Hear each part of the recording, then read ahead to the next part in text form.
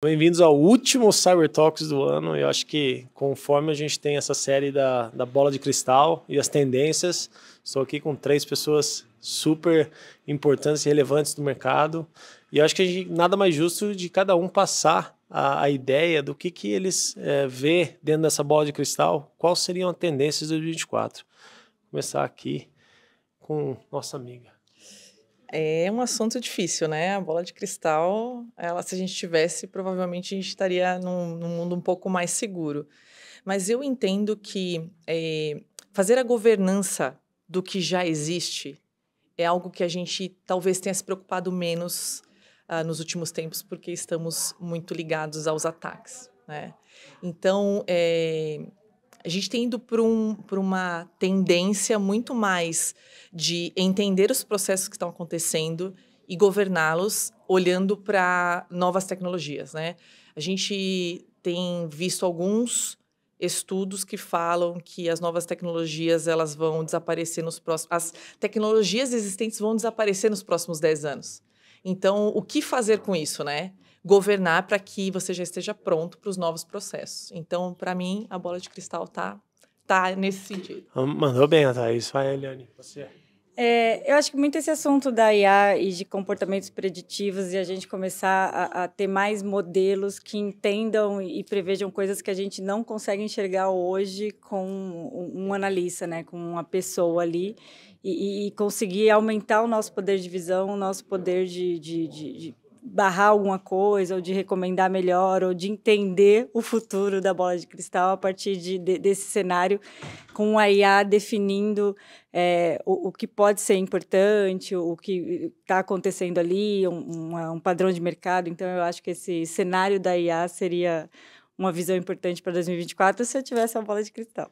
Então, estamos falando de governança, AI, vamos para o nosso amigo André. André, e você? Qual que seria o tópico da, da do futuro de 2024? É, eu quero apostar em, na modernização do SOC. A gente está tá falando de threat intel, né? superfície de ataque, mas precisa ter uma inteligência mais orquestrada. A gente fala orquestrada é uma, uma palavra da moda, mas é, é importante, né? Assim, a gente falou um pouco sobre isso, sobre conhecer modelo de negócio. O driver tem que vir de negócio. A gente tem que conectar isso com esse driver de negócio. E se a gente conseguir botar essa inteligência no SOC, a gente vai ser muito mais eficiente. Acho que é, ele falou aqui né, de, de, de, de comportamento. Quantos anos a gente já ouve falar sobre user behavior weba, né? A gente até brinca com, com a expressão. A gente precisa fazer isso funcionar. Né? Acho que falta profissional no mercado preparado e capacitado para isso. E se a gente conseguir colocar essa pimentinha dentro do SOC, vai gerar muito mais eficiência na nossa capacidade de reagir, resiliência cibernética atuando, e a gente consegue ser muito mais preditivo ao invés do que reativo, que é o que tem acontecido. Bom, vamos para a segunda agora, segunda rodada. Vamos lá. Próxima, qual que seria a próxima tendência de 2024? Thaís. Eu acho que a gente tem que olhar para é, eh, o que vem acontecendo quando a gente fala de inteligência artificial, é, existe uma, uma tendência a só deixarmos que isso seja a solução do problema, né?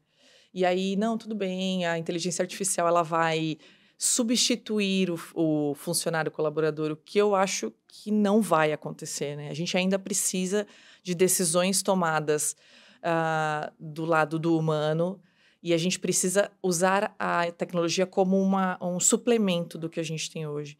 Então, para mim, eu, eu entendo que a gente precisa aprender a usar a inteligência artificial, né? Usar as melhores regras, definir quais são os melhores parâmetros, é, se adaptar a essa tecnologia que é, é nova para nós, mas que ela ainda ela tem muito ainda a amadurecer. Então, eu gostaria hoje de amadurecer a tecnologia junto com o humano para ver onde isso vai dar. Ok. Vamos lá, próximo. Vou para outro lado. Eu acho que fazer é, é, a gestão de segurança de terceiros, eu acho que é um problema grande que a gente tem hoje e que a gente acaba não olhando. A gente fala muito de perímetro, perímetro que não existe mais, mas tudo dentro de casa, né? E não olha para o terceiro. Então, governar e fazer essa gestão de terceiros de uma forma mais eficiente, olhando para a segurança de uma forma mais eficiente, como que a gente gera esses planos de ação e como não deixa o terceiro igual a gente, mas como deixa ele seguro para nossa necessidade, para não ser ali um vetor de problema para a gente, né? André, finalizar 2023 e entrar com o pé direito em 2024. Com os dois pés, né? Vai lá, pular sete ondinhas, então. Mas assim, eu quero falar, eu quero apostar na retomada de identidade de acesso. Né? Assim, acho que é um tema que a gente deixou, falando de mercado geral, Brasil e mundo, meio de segundo plano, né, Thaís? Você é. conhece muito bem o tema. Eu acho que a gente precisa retomar isso. Eu estou falando muito, assim, categoricamente sobre alinhar estratégias de negócio. Para mim, identidade é negócio, não é tecnologia, não é segurança. Viabilizador de negócio. Né? Então, acho que tem um movimento muito grande. Né? Ontem a gente teve um evento aqui em São Paulo, acho que isso mostrou a importância do tema. Era um, era um evento de tema único e estava casa cheia. Então, ali no networking promoveu essa discussão muito forte em, em torno disso. E a gente vê muito mais assim as empresas apostando, investindo e patrocinando no tema. Não é mais o cara de tecnologia, é o cara de segurança que está puxando o tema de identidade. Isso está sendo drivado por fraudes, sendo drivado por é o CIAN, né, o Customer como identidade dentro do negócio. E eu quero apostar também, assim como eu posso no SOC mais inteligente, na retomada de identidade de acesso, é, viabilizando o negócio. Obrigado, obrigado por estar com a gente dentro do Cyber Talks. E 2023 e 2024 promete muito mais. E vamos ver se, esse, né, se essa bola de cristal, o que, que vem. E aí a gente faz até uma aposta aqui para ver quem está certo, quem está errado. Para dois... Exatamente, exatamente. Mas obrigado por estar com a gente. Obrigado, gente. Obrigado. Valeu, obrigado.